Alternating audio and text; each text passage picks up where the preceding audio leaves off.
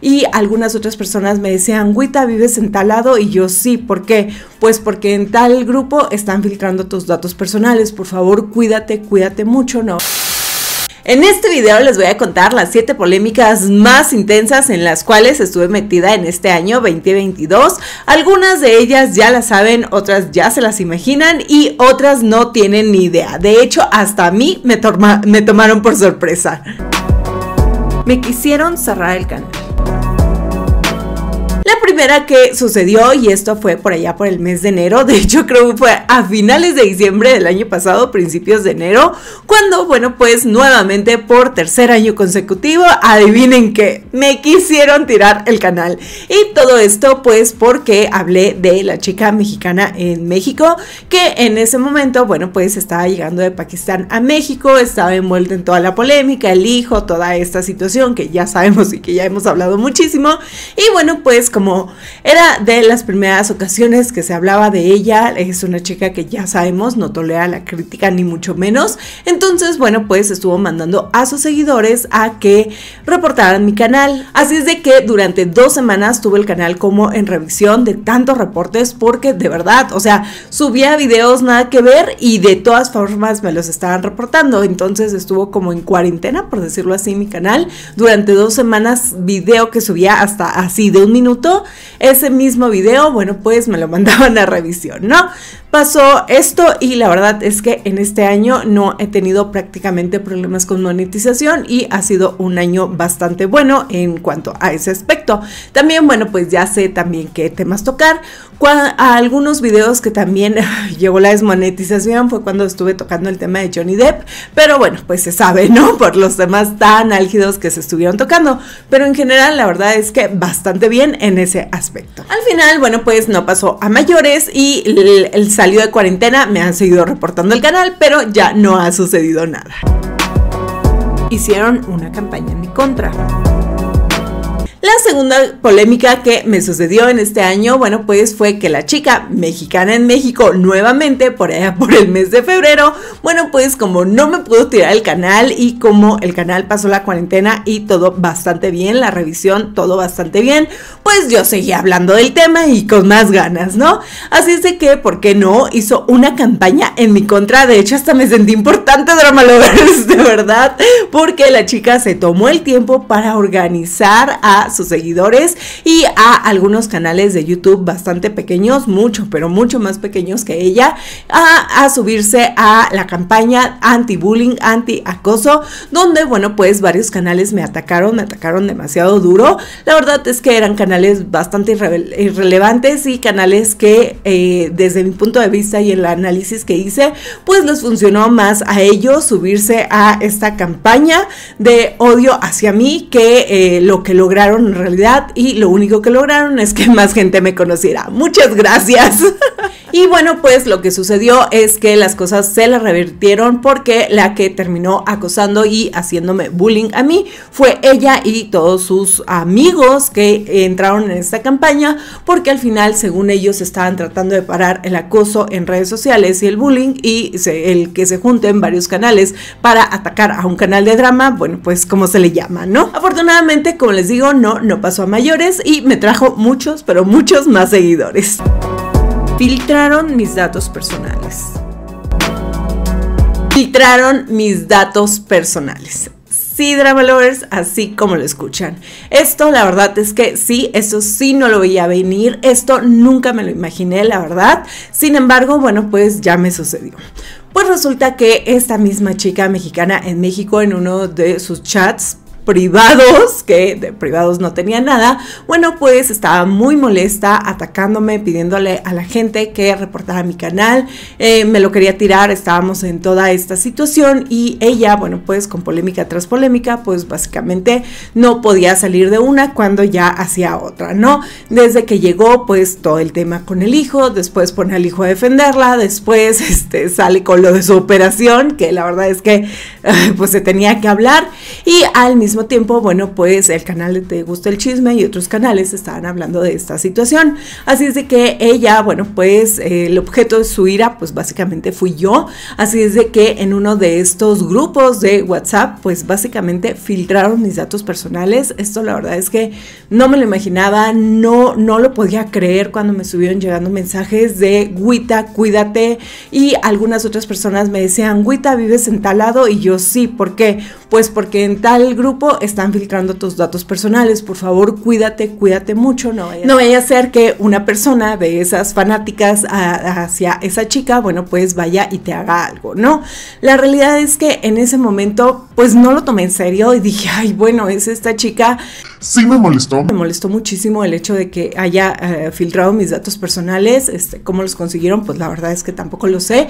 Sin embargo, en ese momento también como que sentía amenazas vacías. Afortunadamente también vivo en una buena colonia y vivo en un lugar bastante seguro, ¿no? Entonces no me preocupé tanto, pero sí me molestó el hecho de que hayan hecho esto y más porque pues al final de cuentas una cosa es lo que se dice en redes sociales, que se le critica por cosas que ella expone en redes sociales jamás ha ido más allá y el hecho de que ella haya ido más allá, eh, eso me molestó. Por el otro lado, bueno, pues también hay que decirlo, está violando la ley porque eso no lo puedes hacer. De hecho, yo la pude haber demandado por esta situación porque al final de cuentas están metiéndose con mis datos personales. Otra de las cosas es que eh, se supone que es abogada. O sea, de verdad que me preocupa el hecho de que sea abogada y no sepa este tipo de cosas. O sea, estudió de noche o qué sucede dio, ¿no?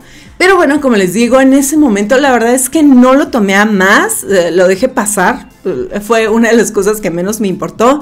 Sin embargo, hace una semana me di cuenta de la gravedad de esta situación y la verdad es que me di cuenta que tal vez sí estuve en peligro y voy a serle sincera. Hace una semana aquí a un periodista muy reconocido, Ciro Gómez Leiva, eh, lo atacaron, lo atacaron, obviamente fue algo muy grande, pero al final de cuentas lo siguieron y gracias a que traía una camioneta blindada, bueno, pues este, le dieron unos disparos y tiraron a matar. Al final, este, no pasó a mayores, estaba muy estresado toda esta situación y muchas personas están responsabilizando a el presidente López Obrador por este ataque, no que haya sido él, sino que él, bueno, pues cada vez que ha atacado a los periodistas y ha hecho este tipo de situaciones, bueno, pues eh, incurre en que muchos de sus seguidores le agarren coraje a esta persona y alguno tome acción. Entonces, esto trasladado en pequeño en esta situación, pues la verdad es que también me pudo haber pasado y la verdad es que yo en ese momento ni siquiera lo, lo, dimensioné. Ahora que sucedió esto y que está tan reciente, digo, de verdad que pude haber estado en peligro y todo por la irresponsabilidad de una persona como esta que simple y sencillamente se expone en redes sociales, no tolera la crítica y ahora el objeto de su ira soy yo al grado de que expuso mis datos personales. ¿Cómo vendrá valores? Así es de que, bueno, pues ahora sí lo digo con todas sus letras, si algo me llega a suceder, pues responsabilizo a esta chica por haber hecho esto.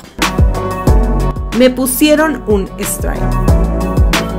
En temas más amables, bueno, en este año me pusieron strike por dar mi opinión. Sí, ya saben, en cada cosa que me voy metiendo, pues resulta que un reality show muy famoso que cubrí el año pasado, pues este, la verdad es que es un reality show que me gusta, que he seguido y que estuve cubriendo semana a semana, todas las polémicas, todo lo que estaba sucediendo y lo, lo hice con el mayor profesionalismo que, he tenido y pues eh, con la mayor objetividad que pude haberlo hecho. Así es de que no pensé que pasara a mayores. Sin embargo, bueno, pues en la final hubo una polémica, una polémica bastante grande, polémica que la verdad es que la dije con todas sus letras como estaba sucediendo y no pasó a más.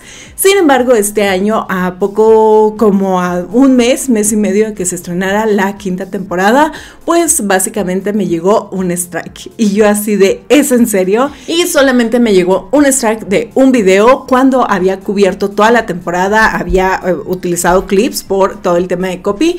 Sin embargo, bueno, pues estaba apoyando el proyecto, pero cuando me llegó el strike por haber dicho la verdad de lo que sucedió en la final, la verdad es que me dio mucho coraje y al principio dije, ya no voy a volver a hablar del tema, ¿no? Sin embargo, bueno, pues empezó la quinta temporada, dije, voy a ver qué tal, este, voy a probarlo, la verdad es que no hubo nada relevante y dejé de hacerlo, pero bueno, pues me quedó con la experiencia de que cuando vaya a dar una opinión álgida, pues no poner clips de absolutamente nada para que con, la, con el pretexto del copyright, bueno, pues me bajen y me intenten censurar mi opinión, ¿no? Pero bueno, de todo se aprende.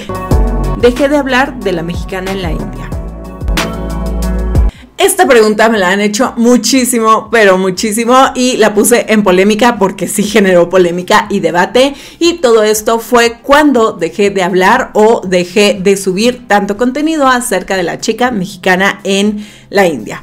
Pues resulta que esta chica desde hace algunos años yo empecé a cubrir todos sus dramas, todos sus temas y la verdad es que para mí era como transparente, ¿no? O sea, yo le veía a kilómetros las intenciones y era, es que cómo es posible que la gente no se dé cuenta. Así es de que conforme fue pasando el tiempo la fui exponiendo en diferentes situaciones y en varias cosas que la verdad es que pasaban la raya de lo ético y la verdad es que bastante mal, ¿no?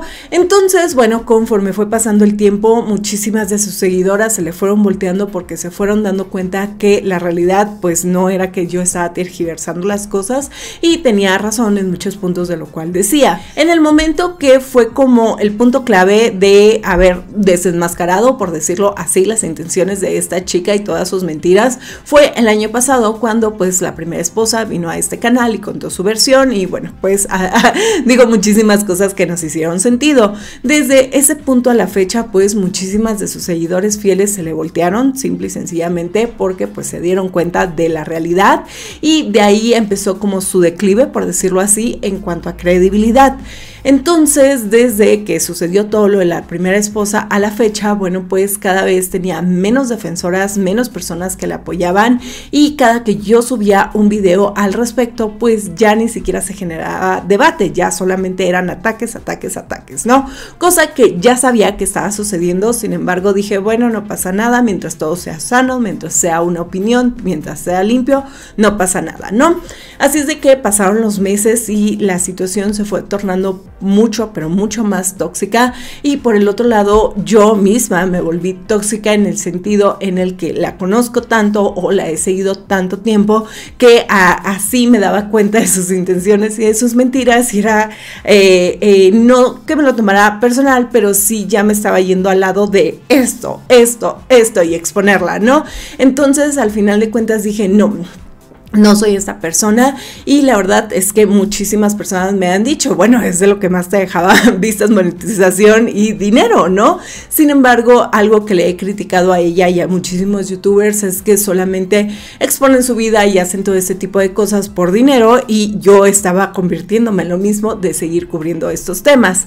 La gota que derramó el vaso fue cuando ella sacó su canal de las limonadas, donde empezó a responderme acerca de absolutamente todo y en ese momento pues tenía dos opciones. Una, seguirle el juego porque pues a mí me divierte, me divierte muchísimo todo esto y eh, yo me la pude haber pasado contestándole, contestándole, contestándole y rebatiéndole absolutamente todo porque para la lupa de Guita pues la verdad es que viendo con lupa muchísimas cosas es muy incongruente, ¿no?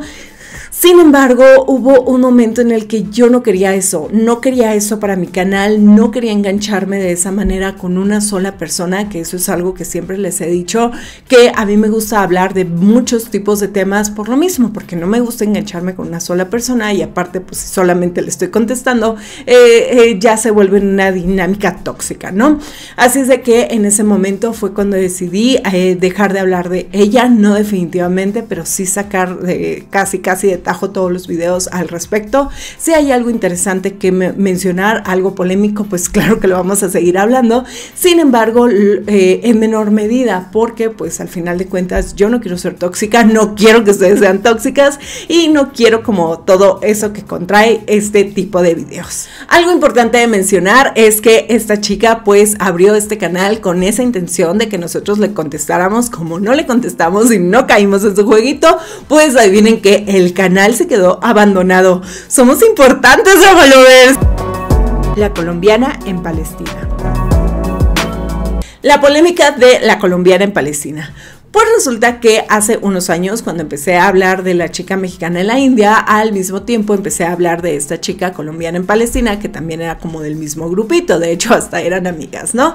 Así es de que en ese momento, pues a kilómetros me di cuenta de las intenciones de esta colombiana y sí, la verdad es que lo hacía muy bien, manipulaba, se victimizaba y toda esta situación. Sin embargo, yo algo le veía, o sea, no sé cómo explicarles, pero tenía una intuición, como siempre les he dicho, tengo esa intuición y yo le veía algo y no le creía, de verdad que no le creía y por más que, no sé, hacía drama que sus cuatro hijos, que el esposo, que la mamá, que esto, de verdad que yo solamente le veía las intenciones de eh, pedir dinero y manipular y pues obviamente no trabajar, ¿no? Así es de que conforme fue pasando el tiempo, bueno, pues en algún momento me atacaron, me atacaron muchísimo de no ser empática, de ser una mala persona, de no tener corazón casi casi, por no creerle, porque sí, la verdad es que hasta los más duros, esta situación, como ella lo planteaba y lo manipulaba, pues la verdad es que podrían haber caído, ¿no? Así es de que yo seguía haciendo videos, haciendo videos y haciendo más videos al respecto, siempre diciendo lo que pensaba y la verdad, o sea, como yo pensaba y opinaba las cosas. Sin embargo, bueno, pues todo cae por su propio peso y pasaron poco más de dos años para que esto sucediera, cuando, bueno, pues ella con todo el tema de la mamá, con todo lo que hizo, que se la llevó, la monetizó, lucró con ella y luego cuando ya no le sirvió la regresó, pues muchísimas personas de las que la seguían básicamente abrieron los ojos, ¿no? Así es de que como sucede en estos casos, muchísimas personas que me atacaron en aquel momento vinieron, me pidieron disculpas y yo sin problema las acepté y parémosle de contar. Así es de que esta polémica también estuvo un poco ardiente. Las disculpas. Y la última polémica, por decirlo así, de este año fueron las disculpas de azúcar. Pues resulta que, eh, hablando de la chica colombiana en Palestina, pues ella logró manipular de una manera muy terrible a Azúcar con toda esta situación de los niños, el esposo, la situación, etc, etc. Y en algún momento Azúcar me atacó, me atacó muy duramente, sobre todo para defenderla a ella, para defender a la chica mexicana en la India, pero sobre todo para defenderla a ella. Y cada vez que yo hablaba de ella y la exponía, ella iba corriendo con Azúcar a decirle, mira, agüita, es mala, eh, está hablando de mí, defiéndeme. Y Azúcar, que estaba cegada con la causa de esta chica, bueno, pues en alguna ocasión me hizo un video, un video bastante fuerte, que la verdad es que en ese momento yo no lo respondí, lo, no pasó a más, ¿no? Sin embargo, bueno, pues pasaron los años, todo esto cayó por su propio peso, Azúcar abrió los ojos, se dio cuenta de la chica y me mandó un mensaje este, de manera privada, me pidió disculpas, yo las acepté, como se los dije, yo no tenía ningún problema con esta situación. Al final entendía que de hecho hasta les hice un video para entender cómo manipuló y cómo se victimizó y cuáles fueron las claves para que tanta gente hubiese caído. Entonces al final, eh, como les digo, jamás en ningún momento estoy gané, fui la mejor. No, no, no, para nada, al contrario. Eh, parte de lo que se busca en este canal es exponer a este tipo de personas, exponer este tipo de comportamientos y no solamente porque son comportamientos que están en YouTube, son comportamientos que los tenemos día a día, que los tenemos con el compañero de oficina, con el familiar, con los amigos, etc. Y eh, analizando este tipo de casos, bueno, pues nos pueden ayudar en la vida, ¿no?